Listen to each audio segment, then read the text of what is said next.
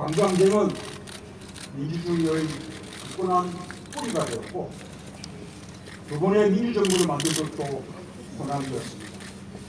호남의 정권 교체 멸망에 오답했습니다. 새로운 대한민국은 광주 정신을 헌법으로 계승하는 나라입니다. 5.18 민주화 운동 정신은 헌법 전문에 기록될 것이며 발표 명령자 등 아직도 은폐된 진상은 철저하게 규명될 것입니다. 진실을 왜곡하고 펴면 어떤 시도도 원천 금지되고 엄벌될 것입니다.